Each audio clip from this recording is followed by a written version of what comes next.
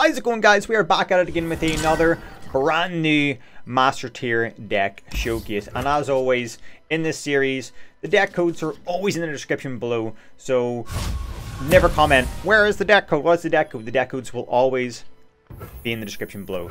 So let's get started with the pivotal part of this deck. This deck is going to be primarily based around Wraith Callers and Mist Wraiths.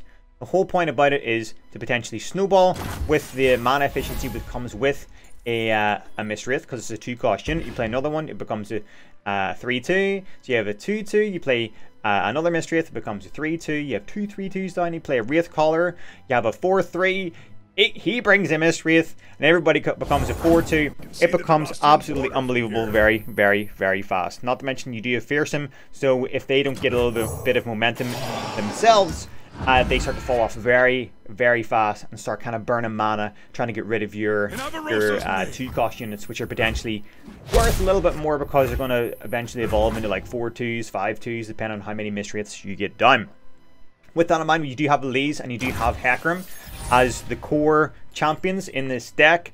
Uh, again, the the deck is Shadow Isles and Demacia, not Shadow Isles and Ionia, because Ionia used to kind of be the be-all and end-all for, for one of the most meta and strongest decks, uh, but times have changed, patches have happened, and uh, with that in mind, uh, Demacia has become the new, uh, the new Ionia, the better Ionia, and uh, even Freljord's up there too, but what synergizes so well is a few certain uh, Demacian cards, which we might end up drawing in this game. So we there we go. We have a Wraith Caller and a Mist And again, guys, if you don't already know, Wraith Caller summons another Mist Wraith 90% of the time, depending on what deck you're building and kind of what cards you have in your deck. If you don't get a Mist Wraith whenever you play a Wraith Caller, it's really, really unlucky. And, uh, shit one.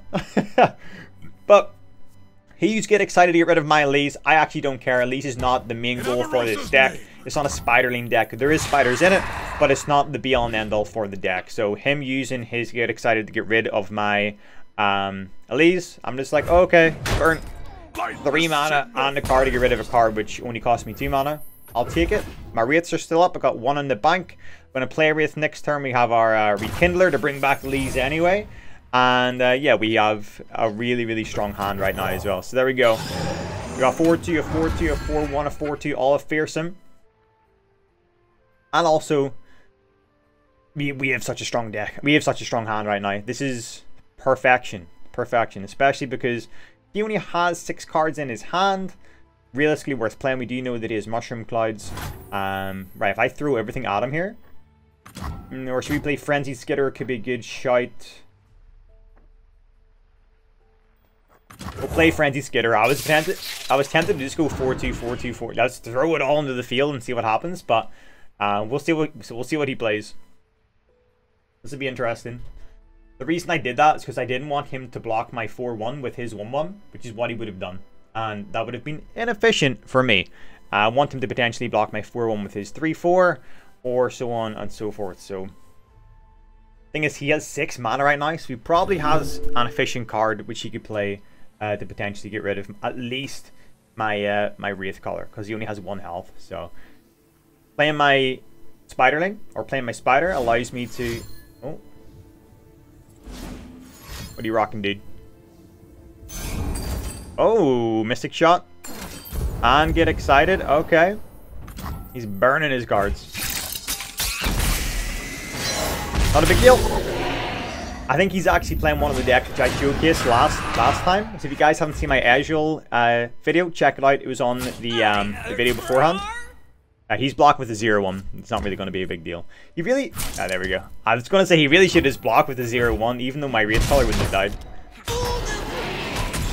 This is fantastic for me. I've got a 4-2 and a 4-1 in the field. Four cards in my hand. He has nothing on the field. I can start get I can start getting a lot of momentum here by dropping Rekindler. We're going to get a Elise back. And we do have uh, a draw card as well whenever somebody goes to kill my Wraith Caller. Oh, or my... Or my Mist Wraith. Alright. Again, it's all about playing efficiently, guys. So I'm going to get two cards. I'm going to have six in hand, one in the field. Nice. Another Glimpse of the Beyond.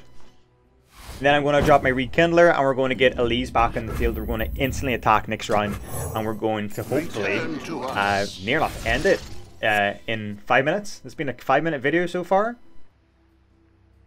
We don't screw around. We don't screw around when it comes to the big plays. Okay, I'm to just throw everything out. Oh, we have a Wraith Caller. We, we need to play him. If we summon a Wraith, it's to be five. Oh! A 5-2 Wraith, boys. Alright, we got two Wraith Callers, a 5-2 Wraith. I'm going to get a Spiderling with a Elise. I don't know what he's going to play. He might play... Oh, he's playing Harsh Winds. Okay. Not a big deal. We're still going to do 13 damage here. Not done yet. He's not done yet, lads. Oh, oh, what's he waiting? Oh, okay. I, I thought he would have had that, to be honest. I thought he was going to play that way sooner than before, but...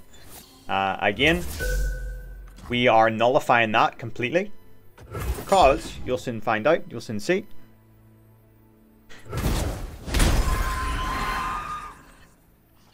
Boom. Nice. That we have six cards in our hand. It's fantastic. We can play. We can play ephemeral and get a.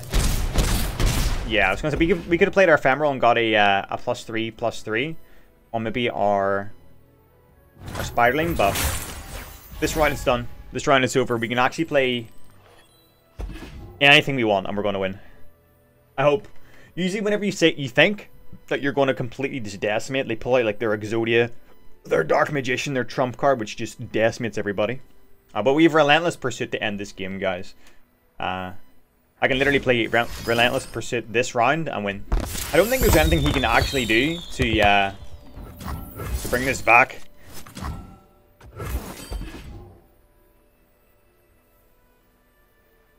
He might even surrender. He'll realize he'll he'll go, oh, I can't do anything, and he's going to attack with everything. But hopefully you guys enjoyed this video and you have a little bit of an idea of the playstyle behind it. Relentless Pursuit is at the heart of uh, of this deck. Relentless Pursuit is the be all and end all. You need to get Relentless Pursuit. If you don't have it, you're using the playstyle wrong. The whole point is Relentless Pursuit mixed with your Fearsome early game allows you to kind of double attack. Uh, doing it on a defensive round is actually really, really good as well because um, they don't expect you to do it. Uh, if you guys enjoyed the video, as always, hit that like button below. It really does help me out. Subscribe as well. I'm uploading content quite regularly, and I'm really enjoying this series, uh, showcasing you guys the best decks, which you should be using to climb solo queue in Legends of Runeterra. But until next time, bros, take it easy, peace out, and good luck on the Rift.